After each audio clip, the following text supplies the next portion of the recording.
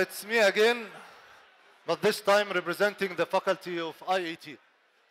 Uh, I appreciate if you,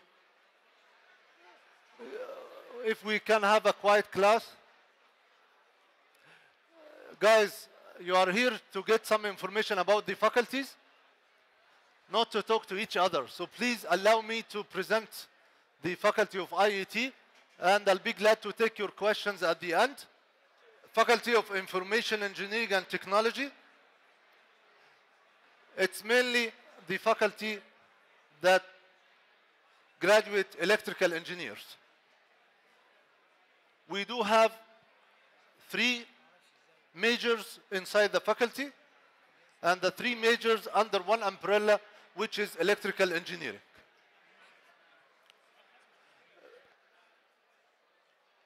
Throughout this presentation, I will give you first a quick overview about the study programs of the faculty, and then some information about the IET labs.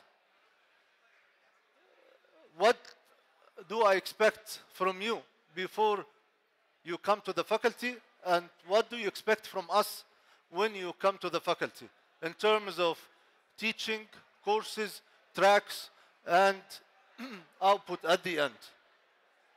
And then I'll give you some information about the student activities and the careers that are open to you.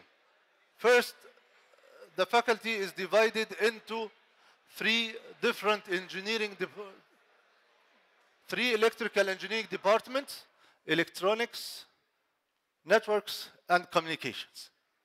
So what are the differences between the three departments? What are the opportunities waiting for the graduates of the three departments.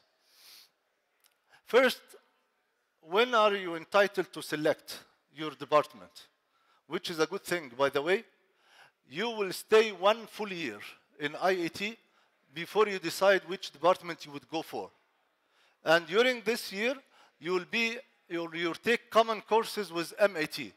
So the only difference between IET and MAT in semester three and semester four is one course, which in semester four. And all the courses will be the same. And then at the end of the fourth semester, we will give you another orientation showing you different, the different uh, aspects of each department and ask you to select.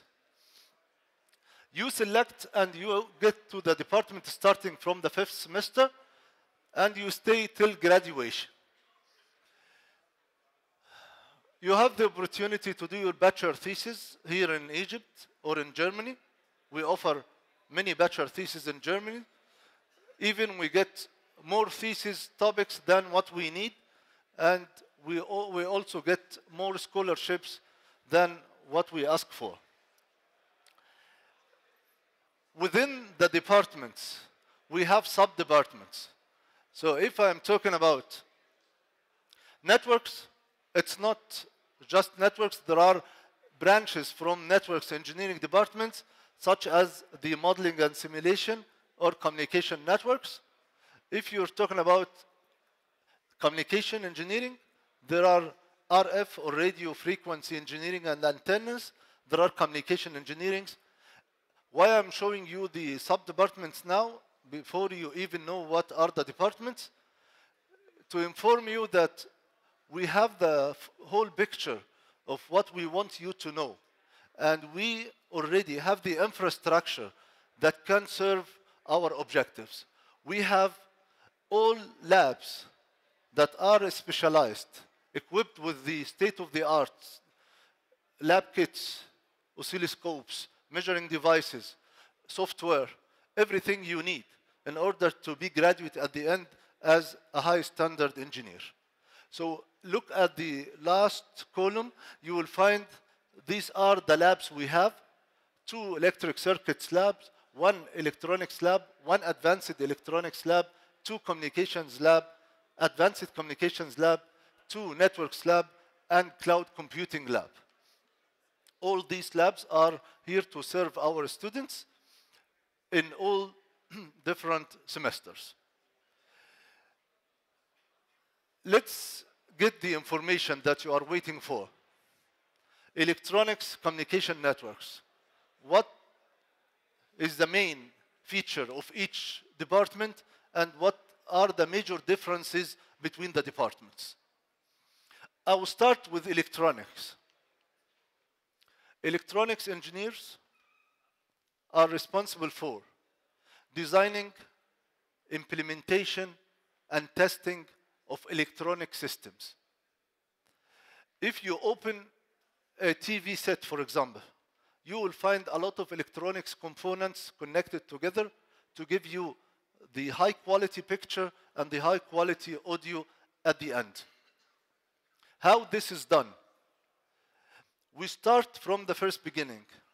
We give you the information about the semiconductor materials and how these materials developed into small devices. How, and then how you integrate the devices to make an electronic circuit and how you connect circuits to make a big system. The system can be, for example, a control system that you would like to control the motion of some machines in a factory. So you get the information, I need this machine to run and this one to stop and then run this one for two minutes and so forth. So you translate this into electronic components connected together, programmed to give you this function. So electronics engineer, as I said, they are responsible for designing, implementation, and testing of electronic circuits. And we have a very good example that we use to show the differences between all the majors, which is the mobile phones that we all use. When you open your mobile phone from the back, you will find a board. This is the electronic circuit. The one who developed this electronic circuit is an electronic engineer. So the electronics engineers know how to design, how to implement the circuit that's used to operate such a device. Now, what, do we use the mobile for? We use the mobile for communication. Communication means that you are in one place and you are talking to another person or another party in a different place. You're not only talking to him or her, you might transfer information in the form of data, in the form of pictures, in form of voice, whatever format you want to transfer. The communication engineer is responsible for converting the data that you have from its raw format, whether it's a video or a voice or whatever, into an electromagnetic wave.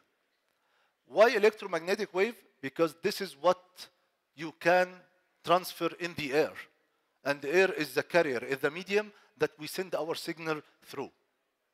So the communication engineer will be responsible for changing the format of your data, sending your data, receiving the data at the other end, and converting the data back into the original format. And this is, as you know, in no time, because you talk and the other party can hear you right away. While transferring the signal, there are many obstacles that can face you. So you have to overcome these obstacles. You're going into a tunnel, you're going into a building, you have some interference with other electromagnetic waves. All this has to be overcome. How? There are techniques, there are engineering strategies in order to keep your signal power at the highest level and be able to guide your signal as well. So this is the role of the communication engineer, to establish the communication and be able to secure sending and receiving your signal. Now, if we all use the same signal, if we are using Mobinil, for example, at certain frequency band, and all of us are using the same signal, then we are forming a network. And now comes the role of the networks engineers. All of us sharing the same signal, sending files, sending pictures, talking to each other. I don't want anyone to jeopardize the security of my communication. I'm talking to someone. I don't want anyone to interfere.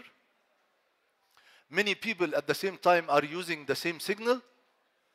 We want everyone to be able to use the signal with highest quality. So there should be network protocols. Protocols to enable you to communicate to other people. And network management. When many people are using the same signal at the same time, you have to give some people priorities. You have to divide the signal into bands to allow uh, people to share and a lot of things that comes under the title network management and also network security you want to accept people to, to be able to hmm, go into your mobile and be able to extract information oh, or copy what you have in your mobile. So you have to secure the mobile and you have to secure the signal that you are using as well. So these sciences come under the title of networks engineering.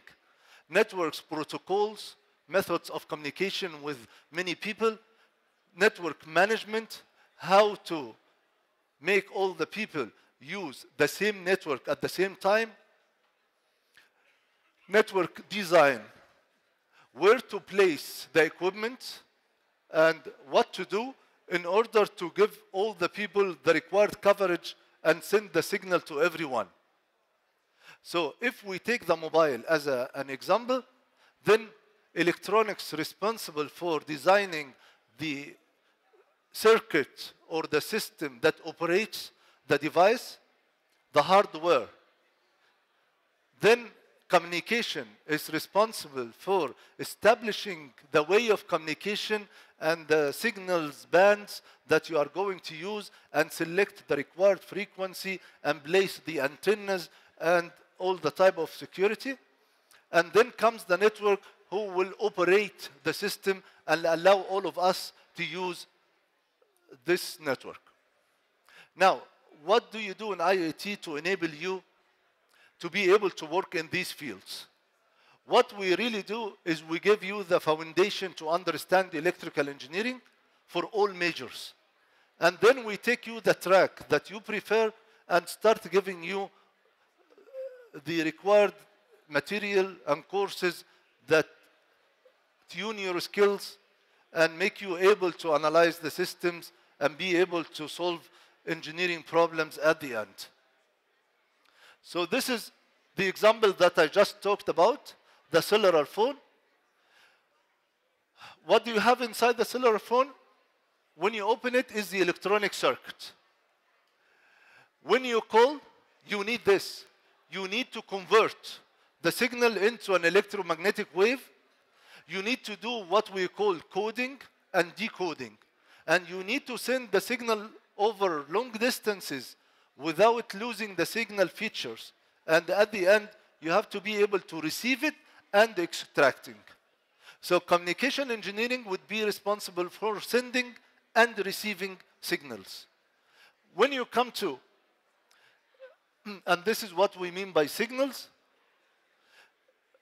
when you come to the network engineering, you need to know where to place your base stations, the stations that will send the signals, how many people can be covered, what do you have to do to manage the operation of your network, and then you go for network design, network operation, network security, and network management as well. تاني يا جماعة لو سمحتوا. How you select. ال- الجنب ده يا ريت آه، شوية. عشان أنا شايفكم الأول ومش عايز أجي عندكم. فلو سمحتوا بلاش كلام. شفتوا الصوت هدي لما أنا جيت عندهم؟ لأن هم السورس بتاع النويز كلها الموجود. Anyway. How do you know that you are a good candidate for an electronic engineering department? I'm not saying that someone should have certain qualifications to be able to go to one of the three departments. I'm saying all of us have equal opportunity, but you can judge according to what you like and what you prefer to study. So if we talk about electronics engineering, you need to know some math, some physics, and electromagnetics, which is um, the part that you studied in physics under magnetic fields and el- electric fields. If you have passion for these three, then you are a good candidate for electronics engineering. And what are you going to study in electronics en- engineering? We take you for three levels. We start with the semiconductor physics, and we go to semiconductor devices. And when I say devices, I'm talking about simple devices that you already used before, like the PN junction diode or transistors or any other simple devices that you tested in the physics lab. And then we integrate these devices together to be able to build an electronic circuit or a system. And you will see there is an important unit of every electronic system. This is what I'm talking for. It's, it's called the IC or the integrated circuit. Integrated circuit is a group of electronics components connected to, together to perform certain function. The function might be just the logic gates that you study these days. I do- um, the AND, AND gate or the OR gate or whatever. This is the highest level of electronics because in order to reach this level, you have to know all the basic electronics and you go from the high size devices into microscopic view devices which needs higher level of information. For your knowledge, we are the only specialized electronics engineering department in the Middle East. In Germany, this is a well-known department.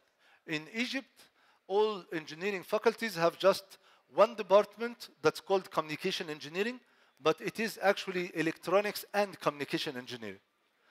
In the GUC, we have electronics engineering as a department, and this is the only electronics engineering department in the Middle East, and the number of graduates is very few, and these graduates are needed in the Egyptian market and abroad, where Germany actually is seeking the graduates of electronics engineering, as well as the market in Egypt, as I'm coming to this point in two minutes.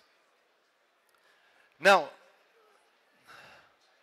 what courses you should like or you feel some passion for to be able to go for communication engineering, the same set of courses, but the focus now is more into electromagnetics. So if you love the magnetic field, then you are a, a communication engineer. If you have a passion for electric fields, then you are a communication engineer. You need a little bit of programming, but this is not the focus. Electronics, communication, and networks have common courses that give you the background of electrical engineering and enable you to work. Even if you are graduates from communication, you still have the chance to work as networks engineer. And you're, if you're graduate from networks, you still have a chance to work as a communication engineer.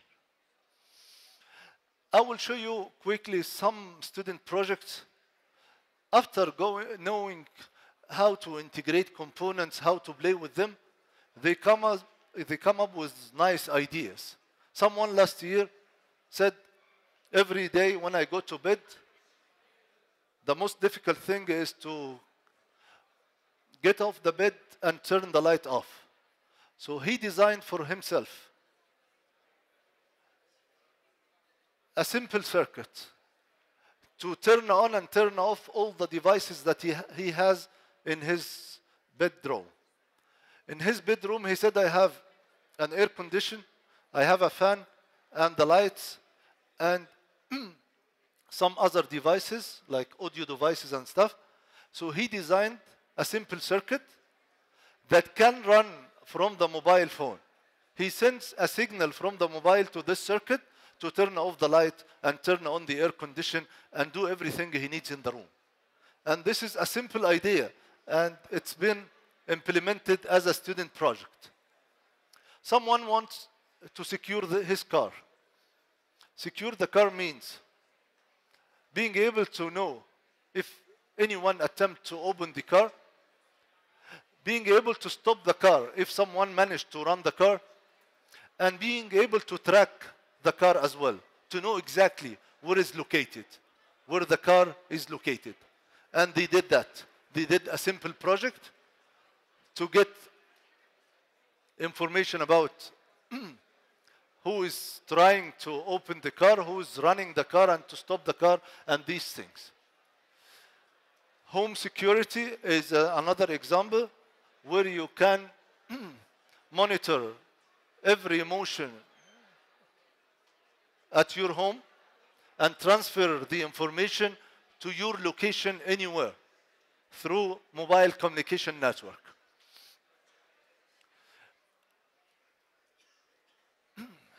Encryption and decryption is methods for secure communication. When you communicate with your bank through your mobile phone, you don't want anyone to know the information that you are sending or receiving. So there are new algorithms to give you this security. And we did some algorithms that recognized internationally.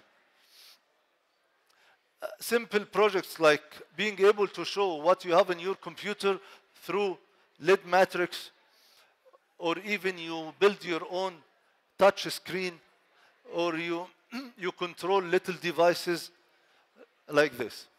Out of these projects, every year, we have students who go into competitions and usually they win the competition or take one of the three places. Last year, we have group of the radio frequency engineering, which is part of communication engineering, participated in an international competition, which is run by the highest engineering standard of the world, IEEE, Institute of Electronics and Electrical Engineers in the States. The idea was a design of an antenna with certain budget to do certain functions. They actually participated in the competition with 22 teams from all, all over the world. The average age of our students was 20 years, and the average age of the other groups was 28. All were either master or PhD students in international universities everywhere in the world.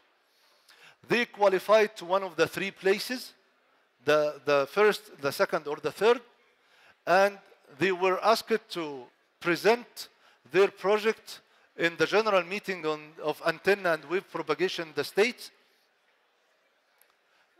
And because of the uh, 30th of June revolution, they couldn't travel and they won the third place because they did not present their project in their meeting. But their project was recognized as one of the international high standard projects and it's now published in the IEEE magazine and they received the certificate of the third place another group that actually entered the competition of Orange, which is called Mobile for Poor. You, you design a mobile application to help the poor people.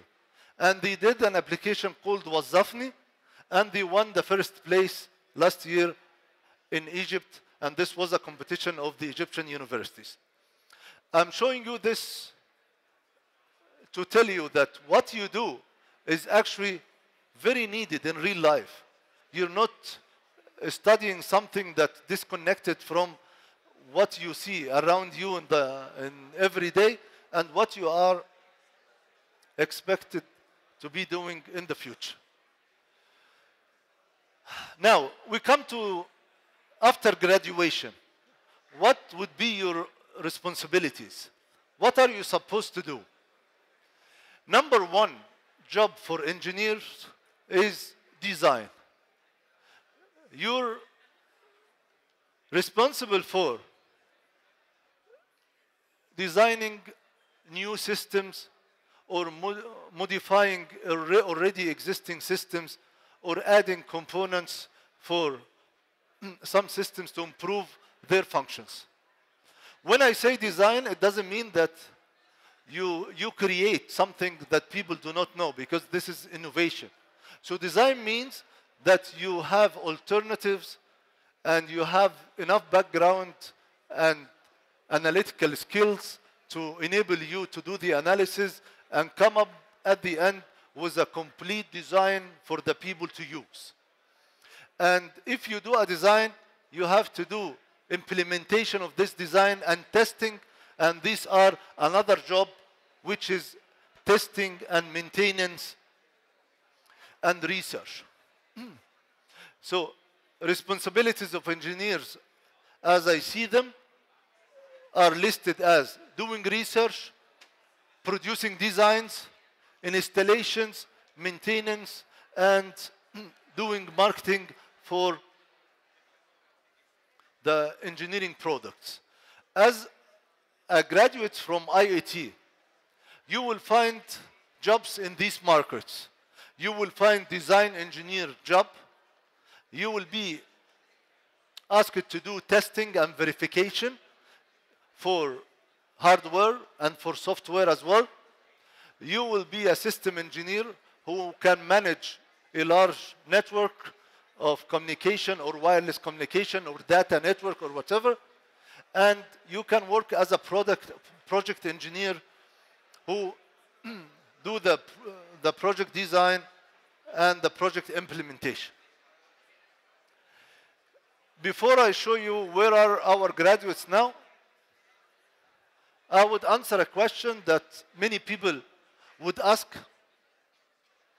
Is there enough jobs for electronics engineers in Egypt? Because this is something that people talk a lot about. They say electronics engineers don't have any chance, and they keep on um, repeating this statement, which is actually it's an untrue statement, and it is a big lie, and you do not listen to it. What I'm showing you here for a moment is how the electronics industry in Cairo only have grown since 2003 to 2011.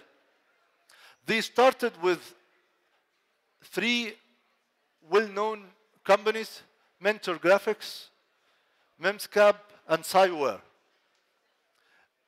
Every year, more companies are joining the electronic industry market till we reached 21 company in 2013. I will give you a simple idea of what these people are doing. Si-Ware, for example, and there will be an invitation to the CEO of Si-Ware in two weeks to uh, tell you about the different activities of this company. They are designing ICs. ICs, as I said, is integrated circuits, a small circuit that's built in the electronic system to perform certain functions. In Egypt, we don't have the fabrication of these designs. So we send the designs abroad to be fabricated, and we receive them back for testing. Design is the core task for the electronics engineer and the hard task as well. So they were, they were able to design ICs for IBM, for Nokia, for Ericsson, as a sub company that just work in Egypt. And then they decided to design their own ICs and sell it to the other companies. Not just being designers for others, no, brand designers, they design, they put their name on the design, and they sell it. And they get the loyalty of everyone who use this design in the future. And they have in 2011, 2012, and 2013 four designs sold to Nokia, two designs, and all mobiles that are fabricated in Finland for Nokia have the IC with the logo of Si-Ware on it. So this is what's in Egypt now. 23 different design companies that produce and design ICs for everywhere in the world. And they are number one in the market for electronics engineers, beside other jobs such as the automation and the electrical engineering jobs. Now, I collected some places where I know at least five to 10 GUCians working there now. And the places, as you see, are the three wireless communication companies, Mobinil, Etisalat, and Vodafone. They take almost 50% of our graduates. And comes after the three companies, EMC squared. And I'll give you some words about EMC squared. EMC squared is the only company in the Middle East that provide cloud computing and data management. It's uh, an American company that's working in the cloud computing field, which is a totally new field. When they came to Egypt five years ago, they decided to have some cooperations with the universities. So they went to different universities, and at the end, they signed an agreement with the faculty of IET of the GUC. The agreement includes establishing the first cloud computing lab in the Middle East, and it's now in the third floor of C3 with the logo of EMC, and educating the future engineers to be able to work in this new field. Last year, the graduates of 2013, IET and MET, applied to EMC Squared with the graduates of all engineering faculties of, in Egypt, and 57 engineers were selected from the GUC. 57 after the interview were offered a job in EMC Squared, and it is, by the way, a dream job. It's not a, a, a normal job or something. A starting salary is very high. People get educated in the States, and have a future of something that's growing every day. And among the other companies that hire GUCians, Schneider Egypt, as you see, Orange, SQS for software testing, and Innova, and some graduates, of course, working with us as teaching assistants. This is all what I would like to tell you about. And please don't hesitate to stop by my office if you'd like to come for any question. Thank you. And if you have any question, we have 15 minutes till we start MET at 4.